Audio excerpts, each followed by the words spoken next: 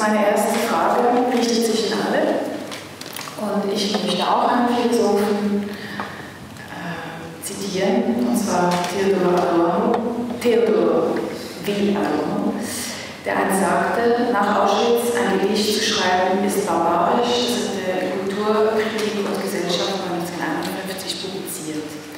Von manchen Interpreten wurde dieser Satz als generelles Verdikt gegen Literatur und Kunst im Allgemeinen ausgeweitet. Das setzt die Zukunft Europas in tiefe Nacht, als müssten wir auf ewigem schwarzen Schatten von Auschwitz liegen. Zu Beginn würde ich euch um ein Eingangsvotum bitten und ja, was eure, von, eurer, äh, von eurem Hintergrund für eure Arbeit der Erinnerungskultur für eine Rolle spielt. Wer möchte beginnen? Das ist eine weite Frage, ja, es zu. Aber ähm, ja, trotzdem. Ja, ja, guten Abend. Hört man mich? Ja, jetzt. Äh, das ist natürlich ein, ein schreckliches Zitat, ein Zitat, an dem man nicht vorbeikommt, wenn man sich mit dieser Thematik auseinandersetzt. Das ist, steht wie ein großer Block natürlich in der diskursiven Landschaft, tausende Mal zitiert, tausende Male bestätigt oder widersprochen. Eine, eine ganze Literatur ist eigentlich darüber entstanden. Ich habe mich bei diesem Zitat nur immer etwas gefragt, nämlich ob es auch barbarisch sei, Gedichte zu lesen. Weil äh, Adorno sagt, es sei barbarisch, Gedichte zu schreiben. Und was ist mit den Gedichten, die bereits geschrieben stehen? Also was ist mit der ähm, europäischen Kultur?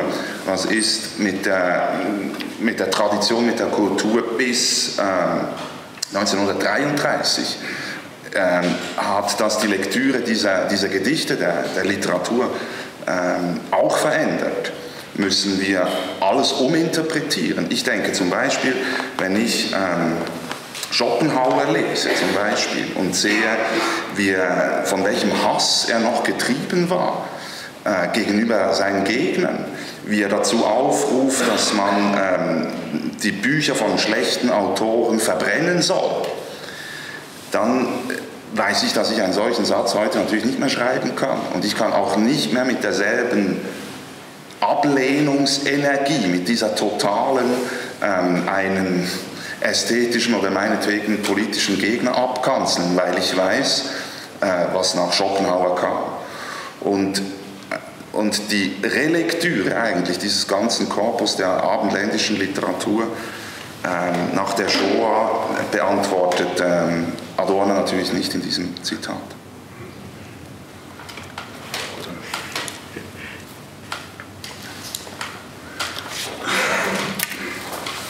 Also ich glaube, dass dieses Zitat eine ganz andere Bedeutung hat als die, die wir diesem Zitat beimessen, wenn wir es wörtlich nehmen.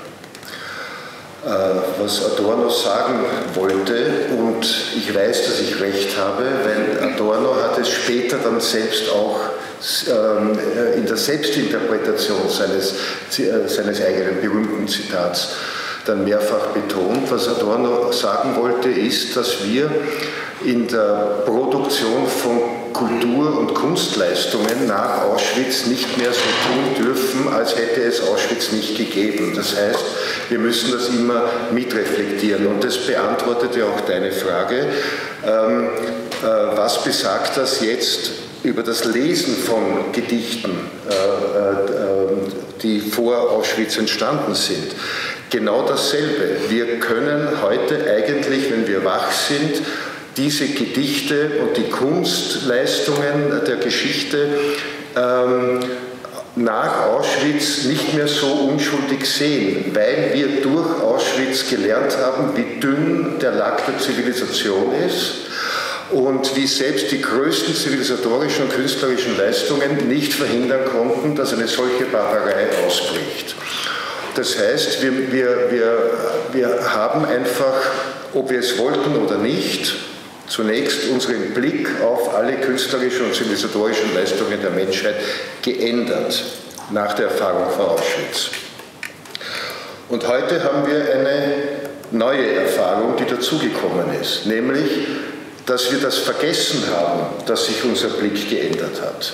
Und dass wir heute in einer neuen äh, behaupteten ähm, äh, Unschuld wieder so äh, Kunst, Zivilisation, Kultur machen können, ja, als hätte sozusagen eine gewisse historische Distanz äh, ähm, einen Schlussstrich unter das Verhängnis gezogen und äh, als wäre jetzt wieder sozusagen Zivilisation im schönsten und friedlichsten Sinne möglich. Wiederum so, als hätte es Auschwitz nicht gegeben. Und wenn wir heute über das Fortwirken der Geschichte, über das Nachleben und Weiterleben der Geschichte und über das immer wieder neu Aufbrechen der, der, der großen historischen Kreuzungspunkte in der, in der Geschichte sprechen, dann muss man es mitreflektieren.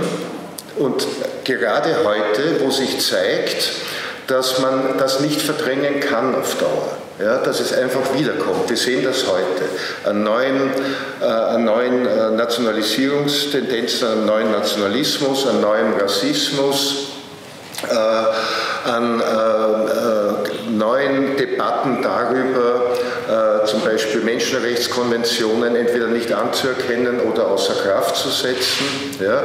Und, und wir, erleben, wir erleben, wie das passiert und ähm, haben nicht einmal äh, äh, die grundsätzlichen Informationen, äh, mit denen, die wir bräuchten, um das angemessen äh, diskutieren zu können, weil wir tatsächlich so vieles aus der Geschichte bereits wieder vergessen haben.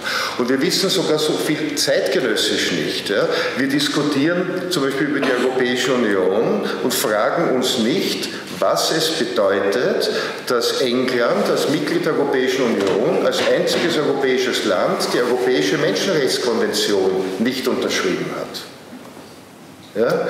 Also solche, solche Dinge. Ja? Warum sie das gemacht haben? Weil die haben den Commonwealth und die wollen im Rahmen ihrer, ihren, ihres zweiten Vereins keine Auseinandersetzung führen und kein Problem damit haben, dass es dort Sklavenarbeit und Kinderarbeit gibt. Also die, die, die, die, Geschichte kommt einfach zurück. Die Geschichte lässt sich nicht verdrängen. es bricht immer wieder auf. Und äh, äh, was Adorno eigentlich sagen wollte damals mit dem Zitat ist, wir dürfen das nicht mehr vergessen, wir müssen das immer im Lichte dieser Erfahrung ja, ähm, ähm äh, äh, reflektieren und diskutieren und wir müssen uns immer bewusst sein, wie dünn äh, der, der Lack der Zivilisation ist schönes, schöne Metapher, dünner Lack der Zivilisation. Vielleicht ähm, möchtest du noch was dazu sagen? Ähm, ähm, mich würde aber auch ganz konkret wundern, was euch alle, ähm, was eigentlich der Impuls dazu war, dass ihr euch mit diesem schweren Thema jetzt, mit diesem schweren Thema überhaupt auseinandersetzt. Also Gibt es da ganz persönliche Geschichten dahinter? Ich meine. Ah, jetzt muss ich ja mal äh, Hürden laufen. Ja, also ich will jetzt erstmal, äh, ich schließe mich sozusagen jetzt einfach nochmal dem ersten, dem, dem ersten Thema an. Und äh, erstmal guten Tag, guten mhm. Abend, schön, dass ihr alle da sind. ähm, also dieses, äh, dieses, Zitat von Adorno ist sozusagen der Klassiker bei jeder Veranstaltung zum Thema. Und äh, ähm, und, und, mich persönlich hat das eigentlich gar nicht weiter beschäftigt, denn ähm, es gibt auch in der, also im Bereich des Films immer wieder, sagen wir mal, alle, einmal alle zehn Jahre Diskussionen über das Erlaubte, über das Erlaubtsein in der Repräsentation oder Darstellung des Holocaust im Film. Also zum Beispiel äh, als Bellini äh, den Oscar gewonnen hat für, ich glaube, äh, ein schönes Leben hieß das, ja. Äh, hieß der Film. Und dann der Fälscher. Hm? Und dann der Fälscher. Und dann, genau, da war ja die Frage, ob man überhaupt eine Komödie dazu machen kann. Da gibt es dann Leute, die erzählen, dass es eben Lubitsch not to be äh, schon gab. Und äh, dann gab es eine ziemlich starke Diskussion, als Claude Lanzmann Mitte der ich glaube Anfang der 80er, Mitte der 80er Jahre äh, Shoah vorgestellt hatte.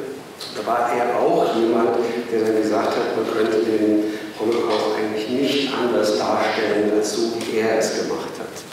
Und äh, dieses, äh, dieses Verdikt und diese Behauptung hat zu etwas geführt, was mich sozusagen beschäftigt, nämlich zu einem Anathema der Darstellung des Holocaust.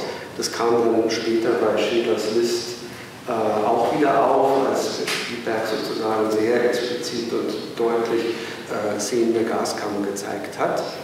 Also diese, ähm, äh, diese Verdikte von bestimmten Leuten äh, führen sozusagen immer zu einer Einengung der Sicht. Das, darauf will ich eigentlich hinaus. Und es liegt immer an uns Künstlern, oder zumindest äh, ich für mich versuche es, diese einengende Sicht, die irgendwelche Leute, die ich auch schätze, äh, formulieren, aufzubrechen. Denn ich denke, dass niemand jemandem vorschlagen kann, wie sozusagen die Erinnerung erzählt werden kann in dem Medium, das ihn beschäftigt. Ob das die Kunst ist, der Film, Theater oder äh, performative Darstellungsform. Und das Zweite war, äh, wie wir dazu gekommen sind. Ja, ja äh, also, der Dann fange ich einfach ja. damit kurz an. Ähm, also es ist so, äh, das werde ich auch immer wieder gefragt, und das ist natürlich, also ich lebe in Deutschland, aber insofern ist es ganz äh, interessant, äh, weil ich ja gar keinen deutschen Nachnamen habe. Und da äh, hat das Thema sozusagen eine andere Virulenz. Und dann erzähle ich eigentlich immer wieder, dass die Themen der Vergangenheitspolitik wie auch das Thema der Wiedervereinigung die zentralen Themen der deutschen Innenpolitik nach, nach 49 waren. Und insofern ist es eigentlich das Selbstverständlichste der Welt, dass man sich als jemand, der in der Bundesrepublik lebt, sich mit äh, diesen beiden Themen oder dem einen, das jetzt noch übrig geblieben ist, beschäftigt. Bei mir war es eine, eine Kaskade, eine biografische Kaskade eigentlich, die, äh, die mich dazu gebracht hat. Das war nicht ein einzelnes äh, Ereignis. Es war ein, ein schulisches Erlebnis. In der dritten Klasse hatten wir einen Workshop zu Ruanda.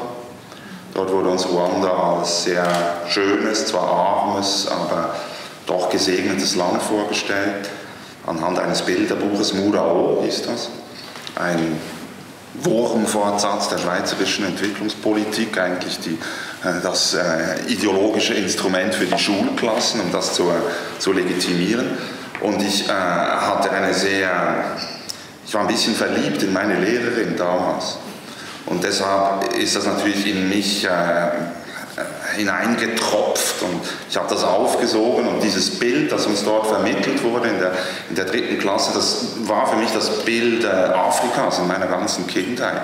Das heißt, wenn ich irgendetwas gehört habe über Afrika, ist mir immer äh, diese Familie Naimana und ihre Kalebassen und äh, das einfache Leben äh, in den Hügeln Ruandas äh, in die Fantasie gestiegen. Und dann musste ich aber 1994 feststellen, dass dieses Bild ähm, wenn nicht falsch war, so doch äh, sehr unvollständig, denn bereits äh, Anfang der 80er Jahre, als wir diese Projektwoche hatten, ähm, war dieses Land äh, schwer traumatisiert, traumatisiert von der Vergangenheit, von den Massakern. Ähm, es befand sich mitten in einer Krise. Der damalige Diktator Habyarimana war durch einen Militärputsch an die Macht gekommen. Es gab eine Apartheid, es gab äh, bereits äh, schwere Strukturkrisen durch äh, den Sturz des Kaffeepreises. Das heißt, ein, ein Land eigentlich mitten in, in einer Krise und davon hat unsere Lehrerin uns überhaupt nichts erzählt. Und ich hatte plötzlich zwei Bilder und ich brachte diese Bilder nicht zusammen. Und das eine Bild war, äh, war affektiv aufgeladen durch meine, äh, durch, meine Bewunderung für diese Lehrerin und das andere entsprach offensichtlich den historischen Tatsachen. Und das hat mich nicht mehr losgelassen, diese beiden Bilder. Und, äh, und eine, eine weitere Stufe in dieser Kaskade war, äh, dass ich dann begonnen habe, äh, alles zu lesen, was mir über die Finger kam. Und ähm, ich stellte dann irgendwann mal fest, wie entscheidend die Rolle der Schweiz war in diesem Land. Seit den frühen 60er Jahren äh, war das eigentlich eine, eine Kumpanei, äh, die sich über die eigentlich über Männerfreundschaften etabliert hat, weil äh, der erste Präsident äh, des unabhängigen Ruandas hat im Wallis äh, studiert, also das College besucht. Äh, der erste Erzbischof in Ruanda war ein Schweizer, ein Walliser. Das heißt, äh, und die ganze ähm, Elite der, äh, der damaligen DEZA hat eigentlich ihre Karriere in der sogenannten Kronkolonie der Schweiz begonnen, so nannte man das intern. Und merkwürdigerweise gab es darüber nichts zu lesen. Es gab kein Buch. Und also man muss wissen, nichts. Und man muss wissen, dass es damals äh, zu Ruanda, zu, ähm, zu der hamitischen Theorie zum Beispiel, zu, den, äh, zu der Geschichte Belgiens, Deutschlands, äh, zu der Kolonial Kolonialisierung äh, dieses kleinen Landfleckens Bibliotheken gab. Und kein Buch über die Schweiz. Und das habe ich sehr bewundert, muss ich sagen. Diese Gewundert? Bewundert. Ja, weil das ist natürlich eine, die perfekte Diskretion. äh, äh, und diese, äh, dieses, äh, auf der einen Seite extrem einflussreich zu sein, viel Verantwortung zu, äh, zu tragen und gleichzeitig zu verschwinden eigentlich. Und, und, äh, und ich habe mich dann zuerst aufgemacht in das, in das Schweizerische Bundesarchiv und und habe dann immer mehr festgestellt, dass diese Menschen, im Gegensatz zu dem, was ich dachte, also die Menschen, die dort gearbeitet haben, das waren überhaupt keine Zyniker, sondern das waren Idealisten. Und die hatten ein Menschenbild, das sich zu einem großen Teil mit meinem deckt. Und Werte, die sich mit mir decken. Solidarität, Gerechtigkeit, Nächstenliebe im christlichen Terminus. Und gleichzeitig war die Voraussetzung für ihre Arbeit in diesem Land war eine Diktatur. Sie konnten nur arbeiten dort, weil es eine Diktatur gab. Das hat mich auch sehr beschäftigt, weil man muss wissen, dass in äh, Ruanda zu Beginn der 90er Jahre 250 Polit äh, entwicklungspolitische Organisationen tätig waren. In Burundi, dem Zwillingsstaat. Ist das nicht zum Teil jetzt noch so? Nein, jetzt haben sie sich ein bisschen, ja, jetzt ist es schwieriger geworden. Ruanda hat es auch nicht mehr nötig, weil sie sehr viel äh, Geld machen mit den Rohstoffen äh, im Ostkongo. Äh, in Burundi, im Nachbarland, gab es ein Dutzend. Warum gingen alle nach Ruanda und keiner ging nach Burundi? Weil äh, Burundi war einfach nicht sicher. Und Ruanda war sicher. Das heißt, äh, es ist eine Grundvoraussetzung, um entwicklungspolitisch tätig zu sein, dass man äh, beim Bau eines Brunnens beispielsweise nicht erschossen wird. Und es ist die Eigenschaft eines, einer Diktatur, eines Polizeistaates, dass sie sehr sicher sind. Ähm, Deutschland 1934 war ein äußerst sicheres Land, außer für die Juden, die Kommunisten, die Schwulen, die Zigeuner, für Nazis, die konnten Tag und Nacht ihre Fenster offen lassen. Und dass man eine Voraussetzung, die eigentlich im Widerspruch steht zu den eigenen Idealen, akzeptieren muss, um überhaupt dort zu arbeiten, das schien mir ein Spalt zu erfordern, ein Spalt im Bewusstsein. Und deshalb bin ich so ausführlich. Ich glaube, mir ging es nie darum, ein historisches Ereignis nachzuerzählen in meiner Literatur, das interessiert mich nicht. Mir ging es immer darum, mit meiner Literatur, mit, der, mit, der, mit dem Imaginationsraum an einen Ort zu gelangen, wofür es keine Zeugnisse gibt, wofür es keine Dokumente gibt. Und für diesen Spalt im Bewusstsein dieser Menschen kann es offensichtlich keine Dokumente geben, weil ein Spalt ist definiert durch nichts. Und äh, für mich ist die Literatur, die Kunst, nicht ein Mittel, um irgendetwas nachzuerzählen, sondern um ein Wissen zu schaffen, wo es keines gab.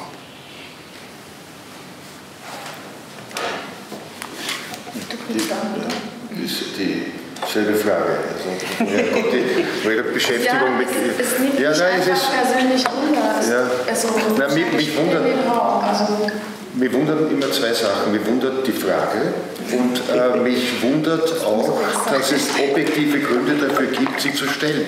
Weil ja, weil ja äh, wirklich äh, heute äh, ein so weit, eine so weit verbreitete Ignoranz herrscht gegenüber der, der, der Beschäftigung mit äh, Geschichte, so kann man sagen. Man kann auch sagen mit der eigenen Gewordenheit, ja, mit, mit woher kommen wir und wohin gehen wir. Ja.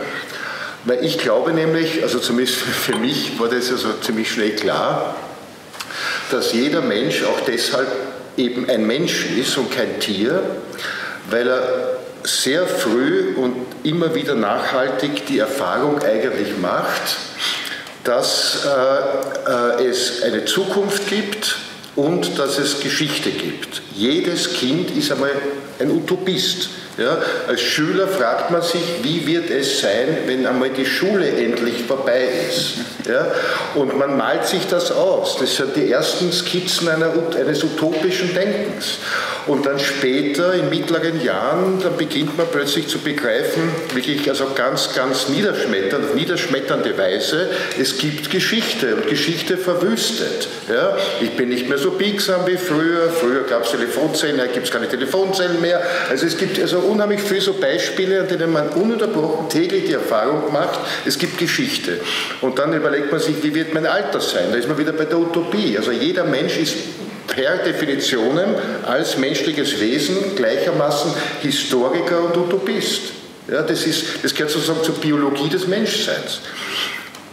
Zur Biologie des Menschen als gesellschaftliches Wesen gehört dann eben auch die, die Neugier ähm, äh, dahingehend, wie haben meine Eltern, meine Großeltern gelebt oder was haben die Großeltern mir erzählt oder wie kann ich das dann später verstehen, ähm, wie sie gedacht und, und gehandelt haben. Ja?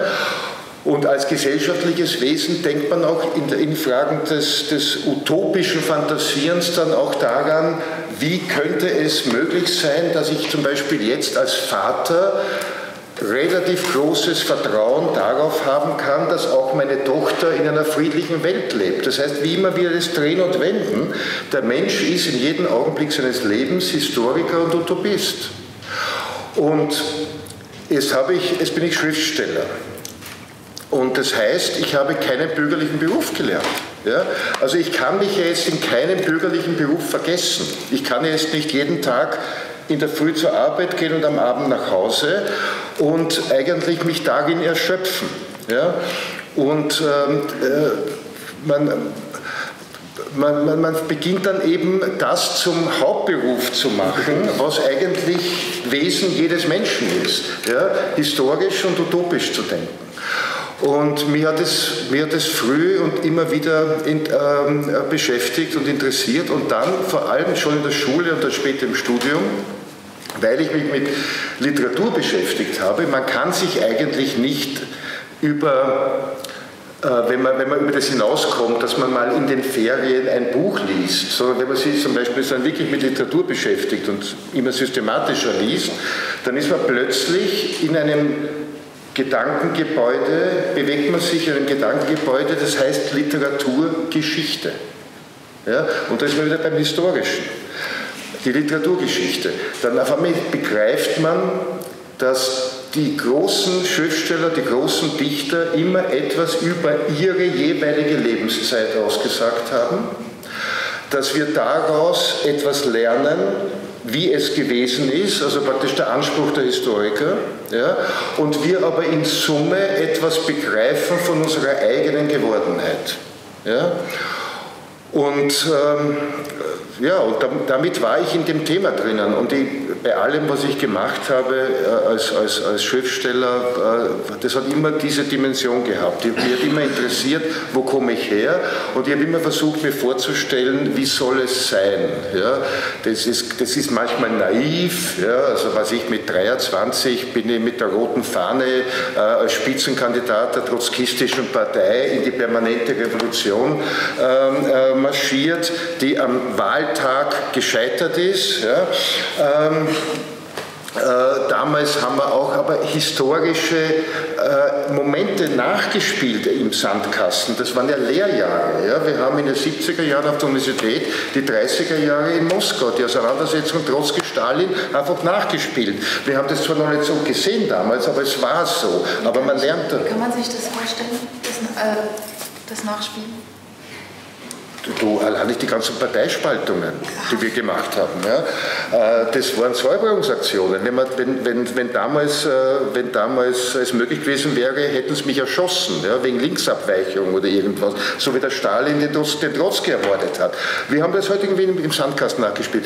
Wir haben aber auch, wir haben aber auch verstehen wollen, wie, wie hat, war das möglich, ja, dass also eine Welt, wie sie Stefan, ich habe Germanistik auch studiert, eine Welt, wie sie Stefan Zweig beschrieben hat, ja, so dermaßen kampflos und, und sang- und klanglos untergehen und in der größten Menschheitskatastrophe der Geschichte äh, enden kann.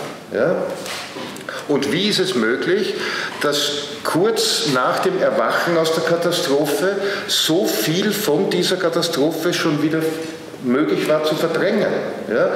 Du, man kann heute einen Menschen, irgendeinen Menschen auf der Straße fragen, wann wurde das Visum eingeführt? Das, die, die Idee des Visums und des Passes. Wann ist das zum ersten Mal in Europa da gewesen? Weiß das jemand? Ja, also von der Vorbesprechung. Nein, aber weiß es jemand? Nein, 1914. Ja? Nein, der Pass wurde aber erst 1919 aber das Visum, das Visum überhaupt als als erste Form des Passes und die Visumspflicht beim, beim Überschreiten von damaligen nationalen Grenzen, die erst errichtet wurden, ja, 1914 mit Ausbruch des Krieges. Und vorher ist man in Europa von Coimbra bis Riga, konnte man reisen, ohne dass er irgendwer aufgehalten hat, ohne dass irgendwer was kontrolliert hat. Und jetzt erst langsam kommen wir wieder zu diesem Punkt und kaum nähern wir uns wieder diesem zivilisatorischen Glückspunkt, stehen schon der Massen auf und sagen, wir brauchen Grenzkontrollen, wir brauchen Zäune, wir brauchen Visumpflicht ja, und so weiter. Das ist doch verrückt. Wieso ist es möglich, dass das alles immer so schnell in Vergessenheit gerät? Mhm. Und auf der anderen Seite, was mich seit langem beschäftigt, wenn ich das noch sagen kann, weil ich glaube, dass es ein interessantes grundsätzliches Beispiel ist. Ab wann ist überhaupt etwas Geschichte? Wenn wir reden über das Fortleben der Geschichte, dann muss man mal definieren, ab wann ist denn überhaupt etwas Geschichte? Ja? Zum Beispiel im 17. Jahrhundert, 17. Jahrhundert, spanische Inquisition. Die spanische Inquisition hat am damaligen Stand der europäischen Bevölkerung sechs Millionen Menschen ermordet. Aber jetzt reden wir mal nur über die magische Zahl 6 Millionen, die muss es jetzt nicht erklären. Ja? Die Juden vertrieben, die Mauren vertrieben von der Iberischen Halbinsel, hat, hat äh, die Infrastruktur von halb Europa zerstört.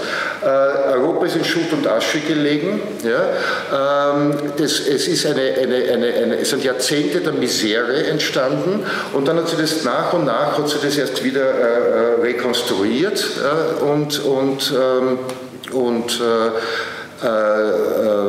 es ist, wurde Geschichte. Aber im Grunde sind, kann man sagen, dass alle heute in Spanien, oder sagen wir 80 Prozent der heute in Spanien lebenden und Portugal lebenden Menschen sind Nachfahren von, ich sage es einmal so, von Arisierern von Menschen, von Vorfahren, die die Juden rausgehauen haben, sich deren Vermögen angeeignet haben, ihre Villen, ihre Häuser, ihre Wohnungen besetzt haben, ihr Gold, äh, ihre Kanzleien, ihre Unternehmen, ihre Banken. So. Aber kein Spanier geht doch heute gebeugt mit der Stirn am Boden, ja, sich selbst flagellierend äh, durch die Gegend, ja, vor der Siesta und nach der Siesta und sagt, wir Spanier müssen da besonders sensibel sein, weil wir haben ja dieses große historische Verbrechen zu beantworten. So, das heißt, offenbar ist er 350 Jahre lang genug, dass etwas wirklich in die Geschichte absinkt und zumindest keine Konsequenzen mehr im Fortleben also bedeutet. 70 Jahre Untergang des Nazireichs sind offenbar nicht lang genug, weil das kommt immer wieder hoch noch. Ja. Selbst wenn, also was ich, der deutsche Finanzminister die Misere der griechischen Rentner beschließt, gibt sofort Nazi-Hakenkreuze äh, und, und, und Merkel mit Hitlerbärtchen und halb das aufgeklärte Deutschland sagt, das ist ganz furchtbar, wir hätten das nie machen dürfen, wir dürfen, wir müssen da besonders sensibel sein, wir haben da diese historische Last und diese historische Verantwortung. So, 70 Jahre ist zu kurz, 250 Jahre. So, irgendwo dazwischen beginnt der Punkt und das hat mich immer interessiert. Wann ist das? Wann, wo ist dieser Punkt? Man ja. sagt, es ist doch immer schneller, dass es eine sich beschleunigende Spirale ist, dass die Gesellschaft immer amnetischer wird. Also es ist jetzt eine These, die ich auch aufgreife, ja. äh, aber ähm, die Geschichtsschreibung vor 400 Jahren äh, wird da äh, anders stattgefunden haben, als sie jetzt stattfindet im 20. Jahrhundert. Gut, ist das naiv? Also ich glaube, Zeitgeschichtsschreibung ist ein Fach, das hat abgedankt. Das war ein Anspruch noch bis in die 60er, 70er Jahre in Europa. Da, gab's diese, da wurden diese ganzen zeithistorischen Institute gegründet, auch an den Universitäten. Da hat man wirklich das Fach Zeitgeschichte etabliert. Heute hat das Fach schon wieder abgedankt. Sie brauchen nur den heutigen Blick lesen. Ja, haben Sie heute den Blick schon gelesen? Da drinnen sind zwei Seiten mit einem Herrn Professor für Zeitgeschichte, ja, eh schon emeritiert. Ja, ähm, und wenn Sie so richtig mit wollüstigen Entsetzen zwei Seiten Unsinn lesen wollen zu dem Thema, ja, dann müssen Sie diese Zeitung lesen. Ja. Ähm, also, verstanden? Nein, er, er, interpretiert Zeitgeschichte so, dass er zum Beispiel sagt, ähm, anlässlich des, des, des Merkel-Besuchs in der Schweiz, sagt er, ja, also ähm, Schweiz und äh, Deutschland äh, äh sind ja so, so, so vernünftigerweise Bündnispartner, weil die Deutschen uns ja so schön vorzeigen, dass die Nation nicht untergehen kann. Ja? Äh, die Nation wird nicht sterben. EU ist problematisch, EU ist ein Problem, aber die Deutschen zeigen ja, dass man das eigentlich also ähm, dass eine Nation Führungsmacht sein kann oder dass, dass es sinnvoll ist, wenn eine Nation sich auf ihre Stärken und so weiter. Also der hat von, der, von 60 Jahren, also das ist ja Zeitgeschichte, die letzten 60 Jahre europäische Entwicklung vollkommen verschlafen oder nicht verstanden. Ja. Er hat zum Beispiel auch nicht einmal gewusst, dass in den Gründungsdokumenten der römischen Verträge, in den Side Letters der römischen Verträge Jean Monnet noch extra hineingeschrieben hat, die Absichtserklärung äh, der der, das Ziel des europäischen Einigungsprozesses ist es, auf alle Zeiten zu verhindern, dass Deutschland oder eine andere Nation, in Klammer, jemals wieder einen Führungsanspruch in Europa äh, stellt. Ja? Also, und das ist Zeitgeschichte, solche Dokumente zu kennen. Ja? Ähm, und äh, Zeitgeschichte, also das ist äh, der, also für jeden historisch Interessierten heute der größte Frust. Also mir ist gerade ähm, zur Verteidigung dieses Professors eingefallen, dass, er, dass er ja eigentlich recht hat. Die Nation äh, stirbt tatsächlich nicht, obschon sie schon lange tot ist. Und diese, diese Rückzugsgefechte eigentlich, die wir ja erleben, diese Renationalisierung, diese, äh, diese Idee, dass man sein Schicksal innerhalb der, der Landesgrenzen irgendwie noch frei bestimmen kann, das ist tatsächlich sehr langlebig und ich weiß auch nicht genau, warum das so konsistent ist und was für die Menschen so entscheidend ist, ein Staatsbürger zu sein. Warum im Sport zum Beispiel äh, dieser, der Nationalismus ähm, immer noch Urstände feiert. Das habe ich auch nie verstanden.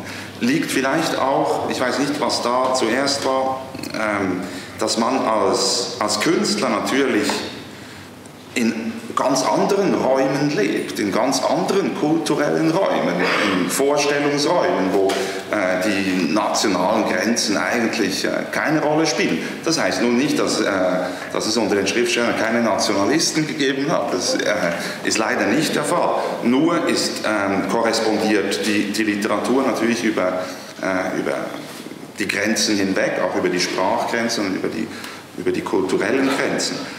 Ähm, ich möchte auch noch etwas zur Verteidigung der Frage von, äh, von Katrin Hug ähm, anführen, weil es ist natürlich schon eine gute Frage. Warum gerade ich, warum maße ich mir an, eine, eine, eine solche Menschheitskatastrophe, ein solches Jahrhundertverbrechen in, in ein Buch zu fassen? Was befähigt mich dazu? Was, ähm, wie rechtfertigt sich das? Und die Antwort ist eigentlich einfach nichts. Ähm, es ist nicht so, dass, äh, dass ich irgendeine bestimmte, hm, ein bestimmtes... Darf ich da, Entschuldigung, wenn ich da nur, also ich, ich erwarte nicht, dass sich Künstler für ihre Arbeit rechtfertigen. Ich glaube, sie haben ihren Beruf, also sagen wir, Passion gewählt, weil sie sich eben nicht rechtfertigen müssen. Ja, nicht vor anderen, aber vor mir selbst muss ich mich natürlich äh, durchaus rechtfertigen. Vor allem äh, muss ich mich auch rechtfertigen, wenn ich äh, dann nach Ruanda reise und die Spuren sehe in diesem Land und, und die Überlebenden sehe und auch einige Mörder sehe und sehe, äh, das ist jetzt der Fiktionalisierung nicht vollständig zugänglich. Ich kann da nicht so, wie ich will, äh, irgendwelche hübschen äh, Geschichten ähm, erfinden, nur damit sich äh, bildungsbeflissene äh, Menschen deutscher Sprache daran delektieren können. Das geht nicht. Und es geht nicht, weil es so etwas gibt wie eine, äh, eine Scham, glaube ich. Und Scham ist, äh, ist für mich ein, ein, ein, ein, wichtiger künstlerischer ähm, Impetus, die, die Scham, die mich befällt, wenn ich, wenn ich darüber schreibe. Und es ist zwingend, dass ich eine Form suche, äh, die dieser Scham gerecht wird und die diesen äh, Menschen, die das erleben mussten, ähm, auch gerecht wird. Und ich weiß, das wird niemals möglich sein. Es bleibt immer eine Anmaßung. Und dieses, dieses Trotzdem ist für mich ganz wichtig, dass ich es trotzdem versuche. Genau aus diesem Grund, weil ähm, natürlich versinken die Dinge sehr schnell, ich weiß nicht genau wo. Unter der Erde? Ja, wahrscheinlich. Sie versinken und dann, sehr schnell. Und dann bauen sie Häuser drauf, wie man in deinem Absolut. Film gesehen hat. Und, und, und, äh, und es ist natürlich eine der, äh, der, der Privilegien des Künstlerseins, des Erzählens, des Geschichtenerzählens, des Geschichteerzählens, ähm, dass man sich nicht damit abfindet, dass die Toten nicht tot sind. Ich, ich würde gerne noch bei dieser Thematik der, der Scham anknüpfen und da werde ich so auch ähm, und den Ball zu dir überwerfen, ähm, der Land der Vernichtung ist da in dem Sinn ein, der Frage zu Landsmann, der Bezug muss ich nicht mehr stellen, äh, in dem Fall, aber dass du diesen Film ohnehin gekannt hast. Aber was da ähm, mich anders als bei Landsmann sehr äh, sagen äh, gepackt hat, oder also ich meine, der Landsmann-Film ist wunderbar wichtig und jedem zu empfehlen, sich anzuschauen.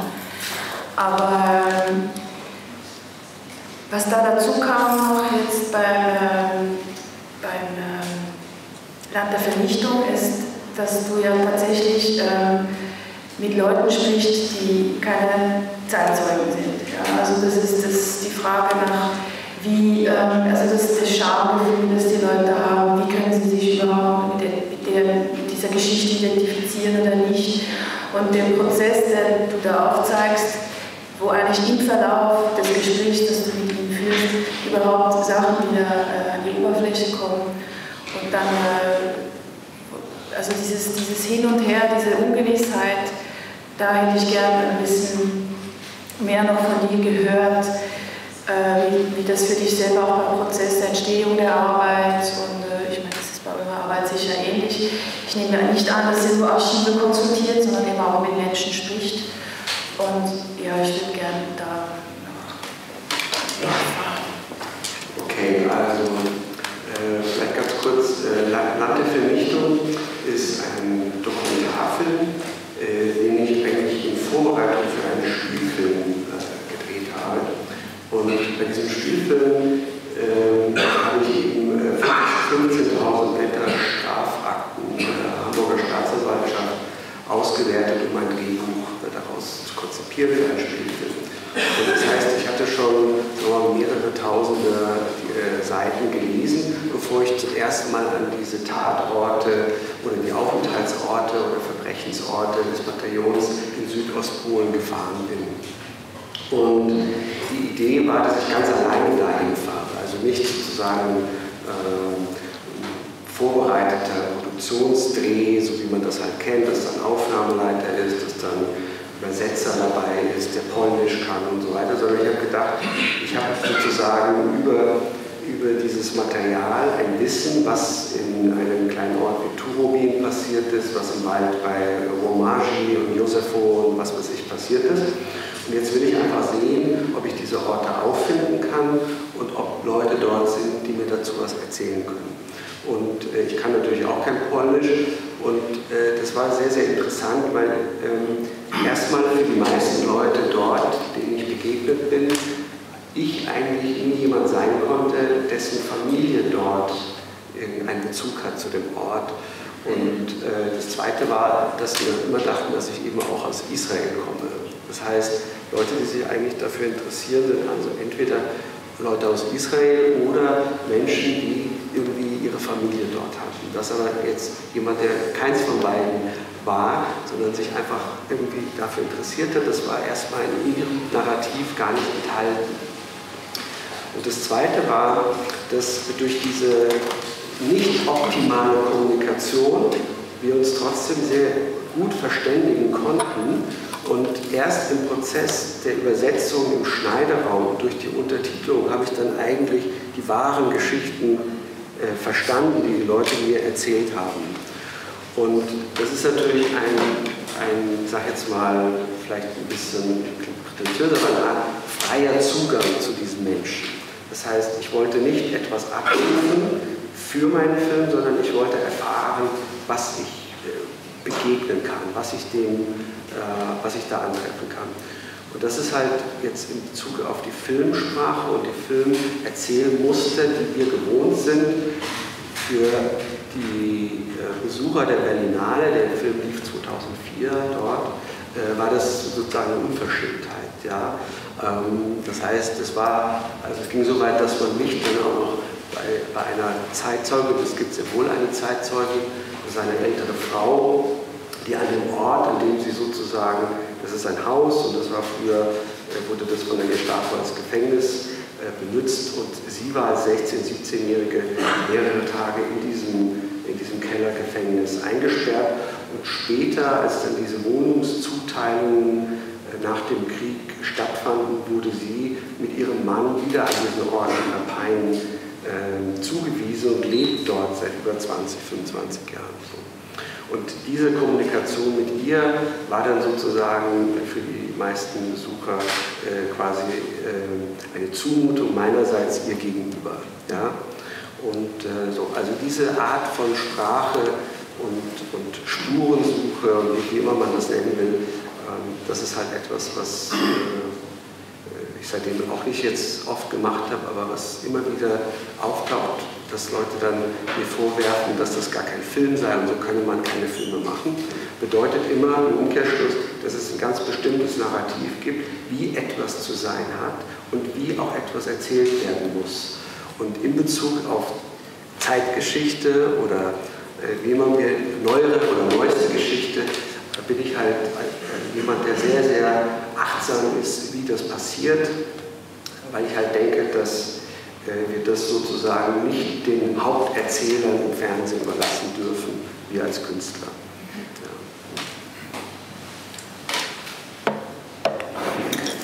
Sonst würde ich, ja, dann schreite ich zur nächsten Frage über. Ähm, hm? Stellen Sie. Gut, danke. Äh, das ist alles wahnsinnig spannend. Ich habe jetzt ein bisschen den Faden verloren, was meine dies da betrifft, aber gerne möchte ich die Gedankengang in die Runde werfen, dass Erkennungsprozess immer vor dem Handlungsprozess stehen muss. Und dazu möchte ich gerne eine Passage aus deinem jüngst, deiner jüngsten Essaysammlung äh, zitieren, aus Freiheit und Wahrhaftigkeit. Vielleicht sehnen sich die Menschen weniger nach Freiheit als nach Wahrhaftigkeit. Nicht danach, die Wahrheit zu definieren. Sie sorgen sich um den Anteil der Übereinstimmung zwischen gedanklichen Begrifflichkeit, der gedanklichen Begrifflichkeit und dem, was ich zu sagen in der Lage bin. Je größer diese Übereinstimmung ist, desto freier wird sich der Mensch fühlen, egal von welchen Zwängen er tatsächlich beherrscht wird. Also diese Zitaten. Diese Begriffe von Wahrheit und Freiheit und äh, du hast es eigentlich mit diesen, diesen Deckungen von was du in der Schule, äh, äh, muss mich korrigieren, dass ich das falsch verstanden habe, also Wahrheit, also das, Decken von was man erzählt bekommt und was man später erlebt. Ich glaube, das ist so eine Situation. Aber ich will ähm, generell an euch alle wieder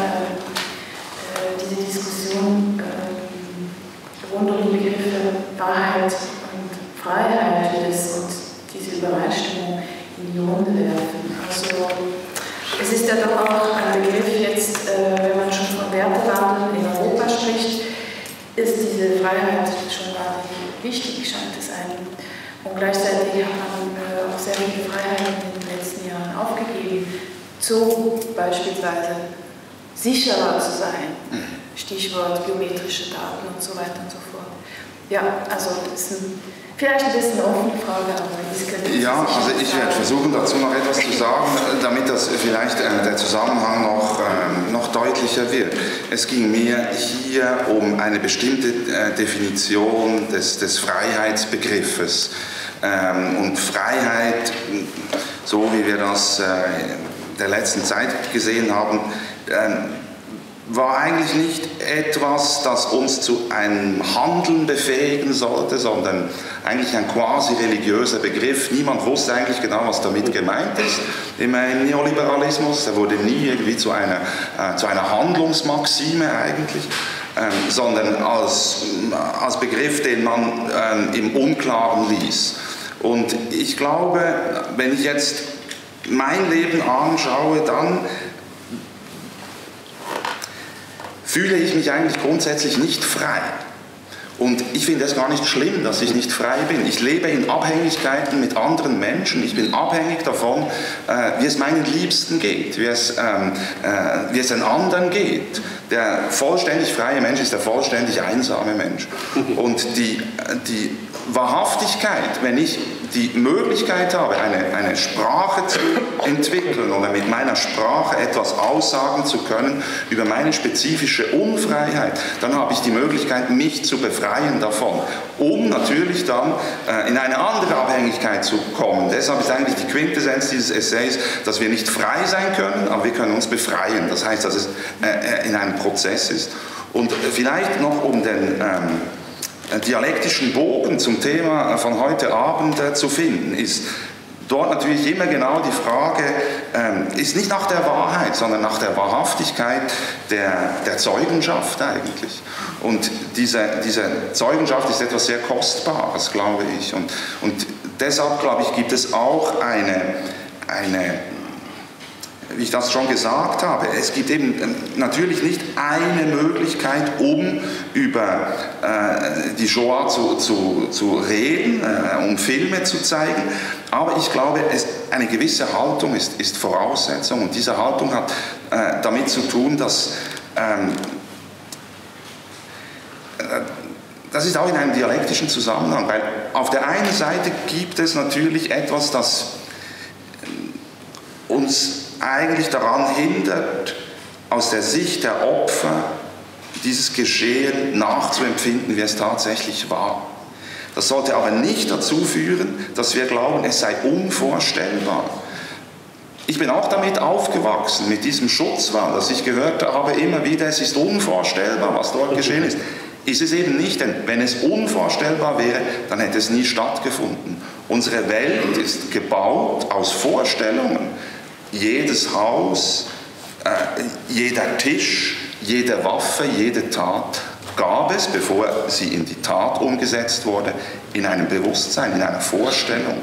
Und deshalb, glaube ich, ist äh, die, die Aufforderung auch an die Kunst, dass sie vorstellt und vorstellbar macht, absolut entscheidend in, in, in diesen Dingen, weil sonst ähm, kommen wir wieder an einen Punkt in, in, unserer Geschichte, wo das Vergessen nicht nur ein Vergessen wird äh, der Vergangenheit, sondern ein Vergessen der Gegenwart. Ich glaube, ergänzend dazu, äh, die, die Frage ist ja auch immer die, inwieweit jemand bereit ist, sich überhaupt auf etwas einzulassen, was unangenehm ist. Ja, also äh, wie weit ist man bereit, sozusagen eine unangenehme Erzählung an sich heranzulassen. Ähm, und ich will einfach mal ein konkretes Beispiel geben. Ähm, ich habe 2005, 2006 auf dem Höhepunkt des ersten Karikaturenstreits einen Film präsentiert mit Manfred Zapatka als Vortragenden, wo wir zwei Reden eines salafistischen Imams aus dem Jahr vom Januar 2000, die er in der Hamburger Al-Quds-Moschee gehalten hat, in der Atta und seine äh, Truppe und seine Freunde da regelmäßig hingegangen sind. Und diese beiden Texte habe ich aus dem Arabischen ins Deutsche übertragen und von Manfred Zapatka vortragen lassen. Das haben wir dann bei der Berlinale 2006 äh, gezeigt. Und mir, also und bei diesem Prozess war es halt immer so, dass dann jeder, dem ich davon erzählt habe, meinte, oh, super, dass das jemand mal macht und so weiter und so fort. Das war, also eigentlich war, war das nicht aufmunternd, sondern es war immer klar, dass etwas delegiert wird. Also es ist gut, dass einer das macht. Und später, als der Film dann irgendwie ja äh, danach im Kino war, war von diesen ganzen Freunden eigentlich fast niemand mehr da. Und äh, der Film hat auch keine Zuschauer gehabt. Ich habe zwar noch mal ins, ins Fernsehen gemacht, aber das, das will ich halt damit sagen. Also, äh, es ist einfach immer zu sagen, hey toll, dass das jemand macht. Sich selbst aber sozusagen mal zwei Stunden in die Rhetorik eines salafistischen Imam einzulassen, damit man überhaupt mal diese Bindlogik dieses Menschen versteht und auch erkennen kann, warum es überhaupt nicht kompatibel ist mit unserer demokratischen Form.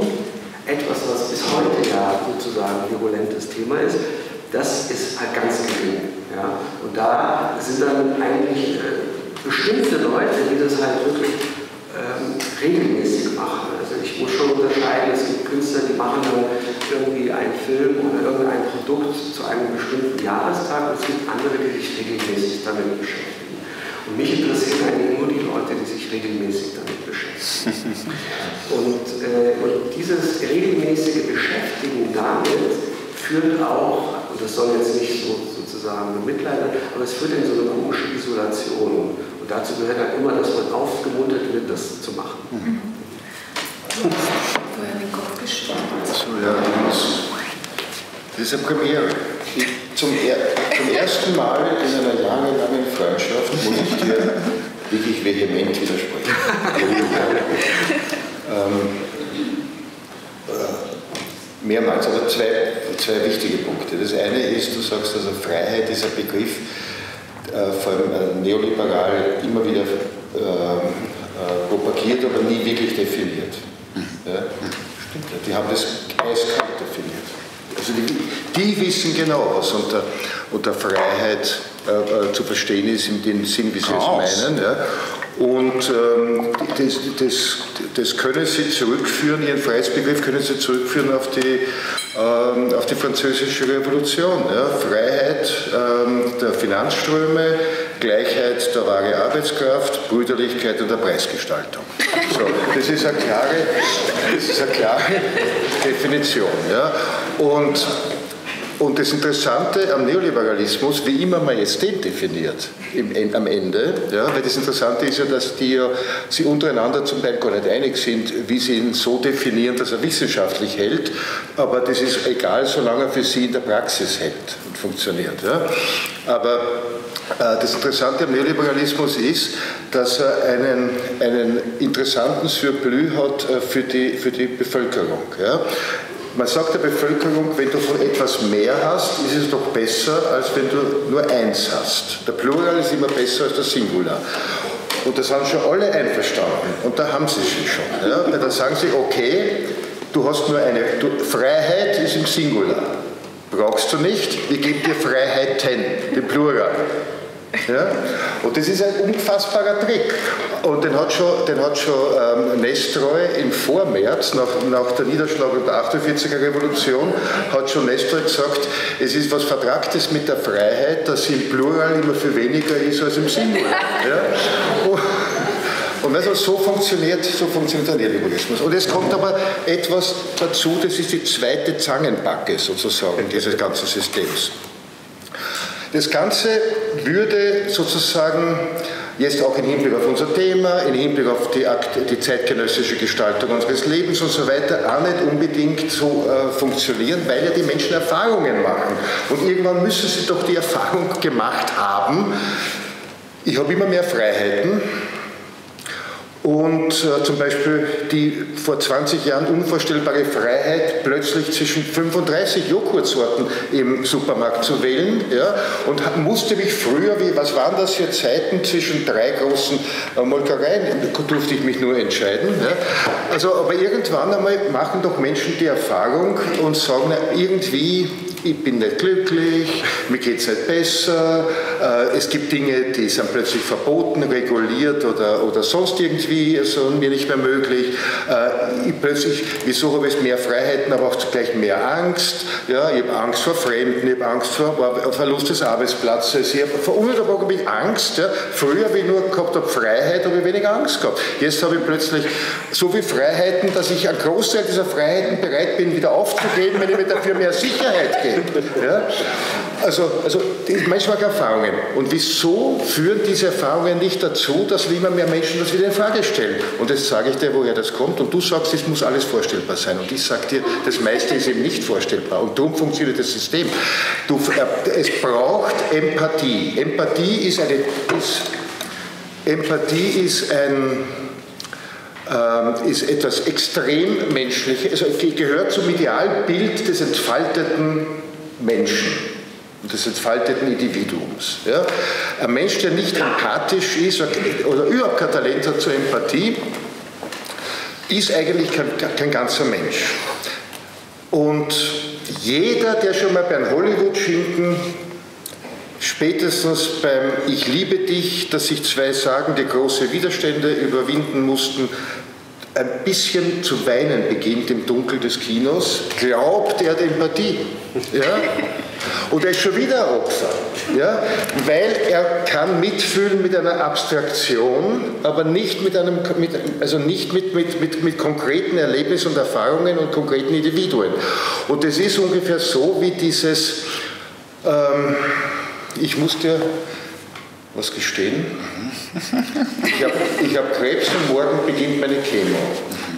Wenn das wahr wäre, ja, du könntest nicht damit umgehen. Du könntest dir auch nicht vorstellen, was, es, was das ist, für mich wirklich bedeutet. Aber es geht, wenn es um noch, also wenn es geht um, um Sachen, die, die über das Individuelle äh, hinausgehen, über, über, über Leiderfahrungen, die wirklich dann wieder kollektiv werden, umso weniger Empathie haben wir. Und ich behaupte zum Beispiel, um das zu illustrieren, ein Mensch, der nie befürchten muss, vertrieben zu werden und, und äh, flüchten zu müssen und in dessen Familie es über fünf Generationen keine Exil-, Flucht- oder Verfolgungserfahrung gibt, weiß nicht, was es heißt zu flüchten. So. Aber es steht davor Auschwitz. Du kannst dir nicht vorstellen, was Tod ist ja, oder Sterben wirklich bedeutet, bis du selbst so weit bist.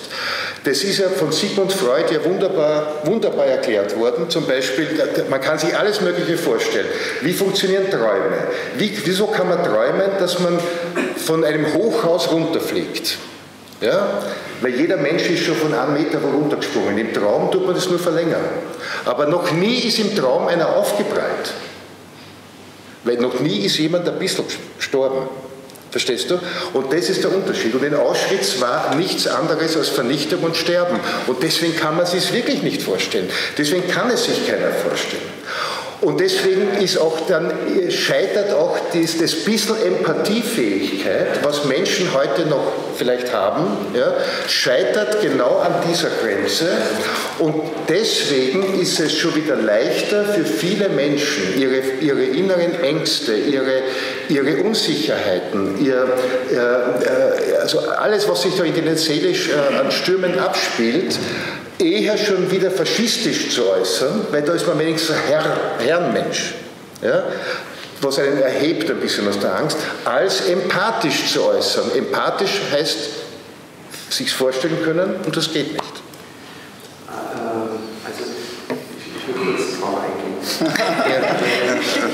Wir kennen uns noch nicht, aber trotzdem ja, äh, Das Problem, äh, also der Nichtvorstellbarkeitsbehauptung, die ja immer wieder auftaucht, in jeder Form, gerade beim Holocaust, hat, hat ein bisschen problematische Aus, Ausläufer bekommen. Das bedeutet, dass man A, es sich bequem machen kann, um zu sagen, also man kann dann sagen, naja, wenn es nicht vorstellbar ist, brauche ich erst auch gar nicht anfangen, mir dann überhaupt ein Bild zu, davon zu machen. Und ich glaube, dass äh, jeder, der sozusagen rein physisch diese Zeit gar nicht erleben äh, konnte oder erlebt hat, ja, soll schon auch die Möglichkeit haben, sich davon ein Bild machen zu können. Weil es so bestimmend ist. Ich möchte damit kein Missverstehen. Damit kann ich kann ja nichts dafür, in Anführungsstrichen, dass ich nicht dabei war. Nur trotzdem möchte ich mir von niemandem diktieren lassen, ob ich mir ein Bild davon machen darf und in welcher Form. Und ich glaube, wichtig ist immer wieder zu erwähnen, dass man ja nicht ein Buch lesen muss, um es irgendwie sich dem anzunähern, sondern es kann auch über verschiedene Wellen der Beschäftigung und verschiedene Dinge, ob das eine Reise ist oder zehn Bücher oder was weiß ich, nichts ist das Richtige, ja? ja? sondern man muss es immer wieder versuchen, sich dem anzunähern und ich glaube, das ist schon ja, da, ge ja, nein, da gebe ich dir recht und bin ich ganz deiner Meinung. Es ist ein Missverständnis, wenn du glaubst, man soll es gar nicht versuchen. Ich sage nur, ich habe versucht zu begründen, warum die Mehrzahl der Menschen es auch nicht einmal versucht. Natürlich, natürlich äh, haben wir Bilder und natürlich haben wir auch tiefsitzende äh, Bilder, zum Beispiel, was ich, äh, da muss man gar nicht in Auschwitz gewesen sein, um, diese, um bestimmte Fotos äh, vor Augen zu haben, augenblicklich. Riesige Tonnenberge von Haaren, von Brillen, von Schuhen, dann die Leichen, die da herumliegen und all diese Dinge.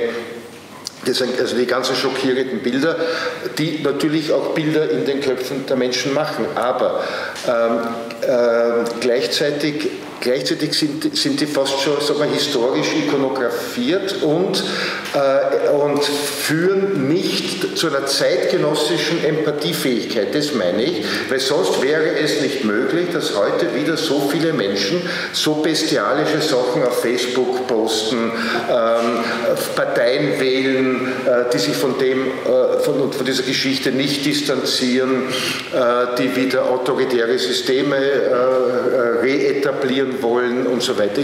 Was ich sagen wollte, war im Grunde nur, es, ist, es gibt ein Ausmaß von Elend, Misere, Schrecken und Terror, dass sich die Mehrzahl der Menschen einfach wirklich nicht vorstellen kann, weil sie selbst nie in die Nähe einer solchen Erfahrung gekommen sind.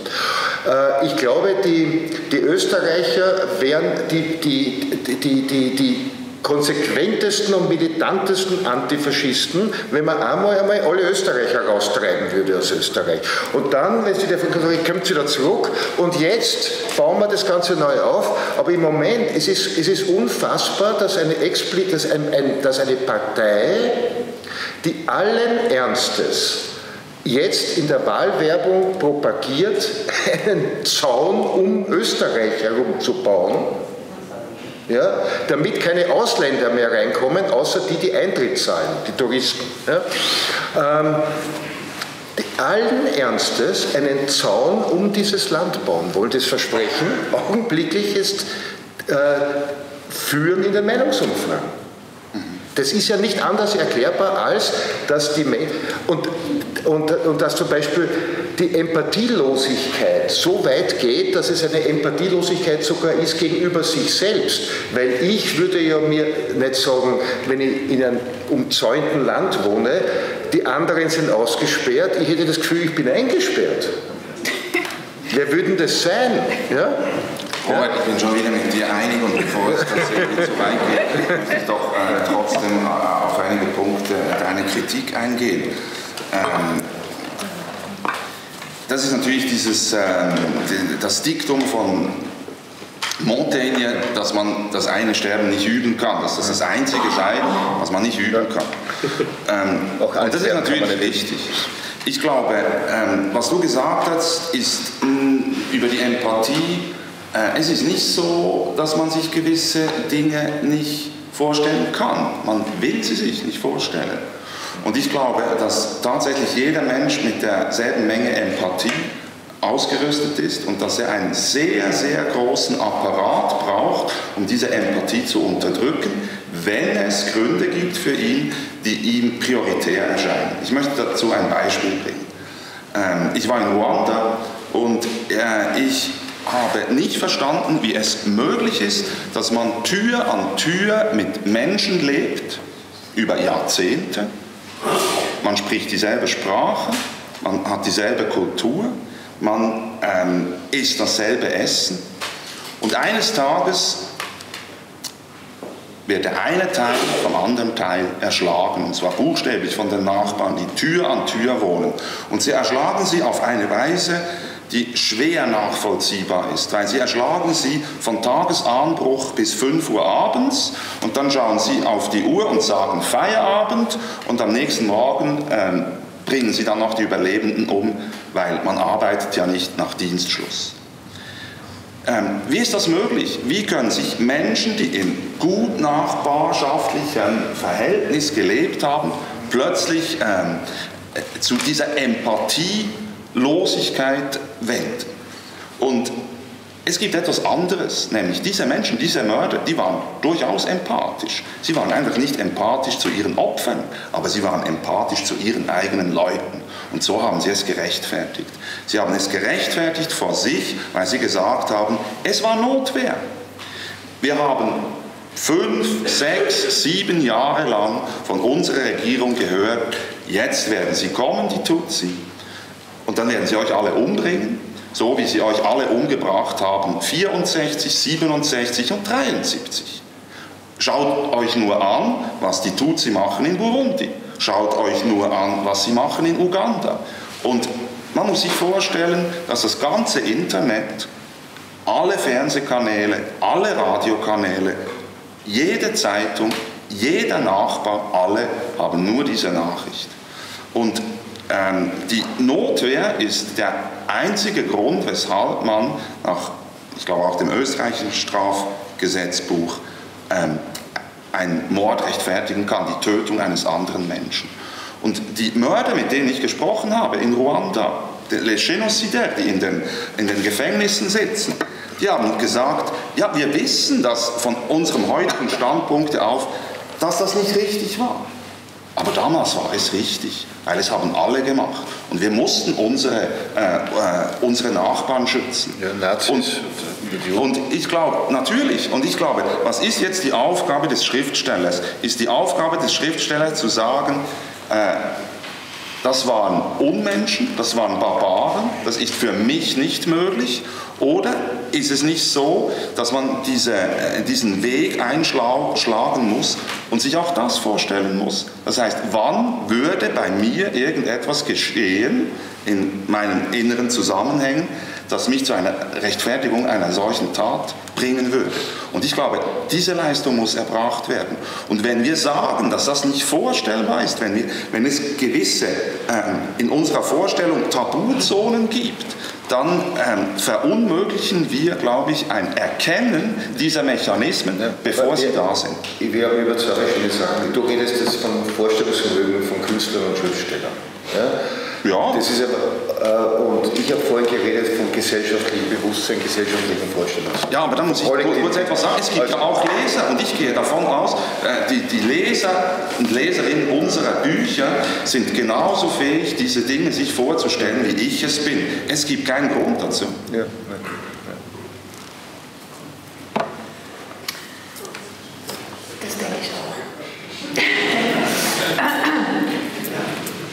Du musst ja vertrauen in deine Lesenden. Das, früher hätte man gesagt, das ist ein dialektischer Prozess. Ja? Also, da gibt, also ich habe kein manichäisches Weltbild, dass ich sage, es gibt nur das oder das. Es gibt nur absolute Empathielosigkeit oder alle Menschen sind so empathisch begabt. Aber ich merke, ja, ich merke ja, was sich im gesellschaftlichen Prozess abspielt, dass eine wachsende Mehrheit gesellschaftlich vollkommen empathielos geworden ist oder wird. Ja? Und Das beginnt ja früh, was sich da abspielt. Also, also, es hat doch früher keine Mobbingbeauftragten an Schulen gegeben. Ja? Also was da, ich habe ja erlebt, wie meine eigene Tochter gemobbt wurde, äh, der, weil du sagst, die Kraft der Literatur. So, ich gebe dir ein ganz kurzes Beispiel. Meine Tochter geht ins Gymnasium, da haben sie äh, drei Tage der Woche Nachmittagsunterricht, äh, eineinhalb Stunden Pause dazu, also zum Mittag. Die Kinder, deren Mütter nicht berufstätig waren und in der Nähe der Schule gewohnt haben. Also die Kinder sind zu ihren Müttern heimgegangen, ähm, äh, Mittagessen, die anderen sind die Rallstiege rauf auf die Mulferstraße und haben sich dort ein Sandwich gekauft oder zu McDonalds oder zu Starbucks und, und dann haben, haben die Girlies ein bisschen herumgewandelt und haben billige Bijouterie oder bei Hasi und Mausi ein T-Shirt und die ganzen Sachen und dann sind sie zurück in die Schule. So und haben sie dann gegenseitig gezeigt, was sie da für Ramsch gekauft haben. Ja? So. Und dann haben sie gesagt, Sophie, meine Tochter, was, hat, was hast du dir gekauft? Und sie hat in die Tasche gegriffen und hat gesagt, ein Reklambuch. Noch dazu Schiller. Das war überhaupt nicht cool. Das Kind ist gemobbt worden, ab dem Moment. Das muss man sich mal vorstellen. Ja, was ist da passiert ja, in so einer Ding? Ähm, ich, ich erlebe es in Dorfgasthäusern, am, an den Stammtischen. Du, man konnte vor 20 Jahren am Stammtisch jemanden noch verblüffen, indem er ihm etwas sagte, was er nicht wusste. Ja? Zum Beispiel. Ja? Also da, da, konnte man über, über, über sozusagen einen gewissen Informationsvorsprung, populistisch formuliert, konnte man unter Umständen noch ein Vorurteil ein bisschen aushebeln. Ja? Das geht nicht mehr. Unmöglich. Ja, ja, aber, und ich sage, es gibt einen wachsenden, einen wachsenden Verlust an Fantasie, an sozialer Fantasie und Empathie gesellschaftlich. Das hat nichts damit zu tun, dass der Mensch an sich empathiebegabt ist, äh, dass man sich als Schriftsteller alles mögliche. Ich kann mir als Schriftsteller vorstellen, äh, Faschist zu sein. Es gibt den Faschisten in mir, sonst könnt ihr äh, gar nicht überschreiben. Ja? Ich habe ich hab als Schriftsteller Fantasie, ich habe als Schriftsteller auch Empathie, äh, äh, augenblickliche, was ich oft alleine in einem Zimmer sitzend vor mich hinschluchze und weine. Das können Sie sich gar nicht vorstellen. Ja? Ähm, aber ich habe es gesprochen von einem gesellschaftlichen Prozess, der stattfindet ja, und der etwas mit unserem System zu tun haben muss. Und das hat auch wesentlich damit zu tun, dass dieses System in dieser Weise sich nur bewegen kann, weil historische Erfahrungen abgesunken sind, weil Lehren aus der Geschichte einfach äh, äh, hinfällig geworden zu sein äh, scheinen äh, oder einfach simpel vergessen wurden, äh, dass das niemand mehr interessiert, die berühmte Schlussstrichdebatte. Ja? Mhm. Und und äh, diese, dieser, Schluss, dieser, dieser bemühte Schlussstrich und dieses System, das sich immer nur in einer Tageszeitgenossenschaft schillernd ähm, äh, beweisen will, führt wieder auf einen Pfad hin zu einer Wiederholung von Verbrechen, die, sich die meisten heute einfach nicht vorstellen können. Das wollte ich sagen. Ja, ähm,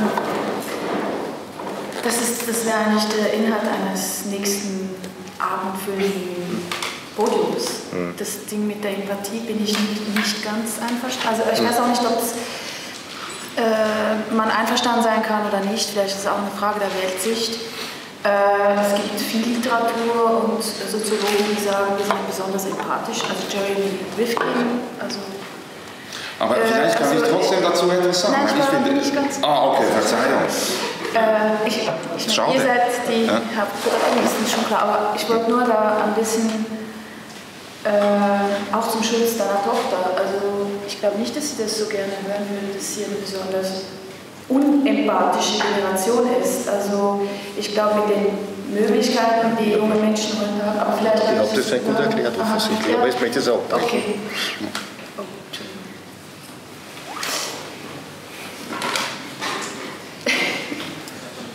Der Schluss des Gesprächs. Nein, aber das Thema. Das, das okay, nein, machen wir das so. Du wolltest äh, so, ich habe schon ah. Ja, also die, äh, die Frage nach der, also ich glaube einfach nicht, dass es, ähm, obwohl es natürlich gesellschaftliche Tendenzen gibt, um gewisse Dinge, äh, die gewisse Dinge verdrängen will und vergessen, äh, will, äh, kann es für mich als Schriftsteller äh, nicht zur Leitschnur werden, mich gegen die Menschen zu wenden, glaube ich. Das möchte ich nicht. Ich möchte eigentlich äh, weiterhin äh, schon nur aus gewerblichen Gründen an diese Empathiefähigkeit appellieren und vor allem auch an die Freude an dieser Empathie.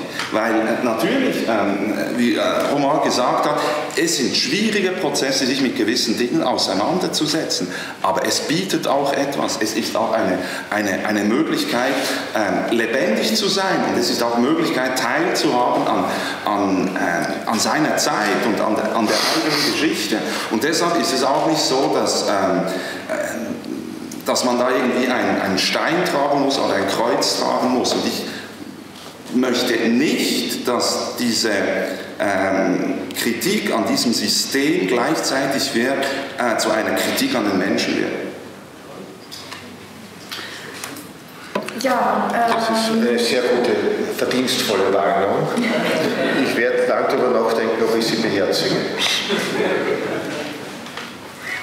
Wir also die Diskussion ist so spannend, es wäre schön, sie noch fortzusetzen. Ich fürchte, es ist aber ähm, äh, der Abend ist bald fertig. Ich wollte Roman auch noch bitten, vielleicht oder euch alle, wenn ihr möchtet, noch ein Schlussfoto zu sagen, äh, wie sieht die Zukunft der Geschichte für euch aus? Ich beantworten. Okay. Also, tolle Geschichte die Zukunft der Geschichte, äh, ehrlich gesagt, äh, interessiert mich das gar nicht so sehr, sondern ich bin äh, jeden Tag mit dem, was ich halt mache und was mich interessiert, trotz aller Widerstände. Äh, ich höre Sie kaum. Ja, tut mir leid. Also ich, ähm, ich, ich wollte sagen, dass halt ich jeden Tag bemüht bin, in dem, was ich tue, ähm, irgendwie sozusagen alle möglichen Narrative, die es gibt, ähm, zu erzählen. Und äh, ich wehre mich immer gegen das Einschränkende, dass man halt nur bestimmte Tasten äh, anspielt. Das ist eigentlich alles. Ja, also die, äh, die, die, Zukunft der Geschichte ist äh, zum Glück umgeschrieben. Es ist ja, eine, da kann ich vielleicht noch etwas ähm, aufnehmen, was äh, Robert gesagt hat, dass es tatsächlich sehr interessant wird. sollte jemand abnehmen, das klingt dringend. Ähm, die Vergangenheit ist vollständig determiniert und die Zukunft ist vollständig undeterminiert. Und wann geschieht genau dieser Wechsel zwischen dem vollständig Undeterminierten in das vollständig Determinierte? Die Zukunft ist offen, glaube ich. Und ähm, um auch noch einen Begriff aufzunehmen, wie kann man anders als das utopisch begreifen? Das habe ich nie verstanden. Wenn die Zukunft vollständig offen ist und ähm, eigentlich alle Möglichkeiten gegeben sind, dann wären ja eigentlich auch alle guten Möglichkeiten gegeben. Und vielleicht sind wir an einem, an einem Zeitpunkt der Geschichte, ähm, wo es mehr von eines geschichtlichen Bewusstseins braucht überhaupt. Und das geschichtliche Bewusstsein ist eben nicht nur eines, das die Vergangenheit in den Blick nimmt, sondern durchaus auch die Zukunft, dass wir uns fragen, wie die Menschen in 100 Jahren leben werden. Und unsere Werke sind ja auch immer Briefe und Botschaften an die Ungeborenen, die noch kommen werden. Und diese, ähm, diese Richtung hinein in die Zukunft ist etwas, was die Kunst zur Verfügung stellt und an dem ich äh, unter allen Umständen festhalten werde. Die Zukunft. Also ich hoffe, dass die Zukunft ein starkes Comeback erleben wird.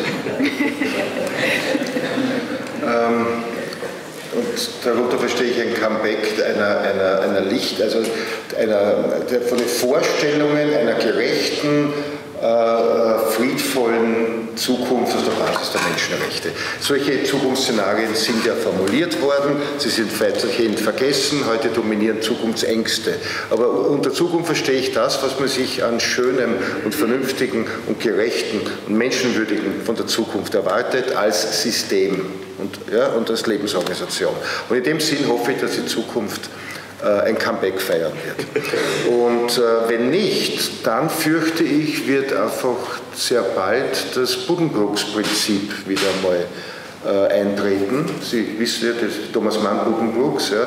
Also das äh, ist ja ein Roman, der deswegen äh, so zeitlos gültig ist, weil er eigentlich ein historisches Prinzip beschreibt. Ja. Also eine Generation begründet etwas, die zweite baut es auf, die dritte etabliert es und verwaltet es und die vierte fährt es an die Wand. Ja. Und wir sind leider jetzt in der vierten Generation. Ja, äh, ich danke Roman Kamaka, Lukas der Berfuß und Robert Menasse sehr herzlich.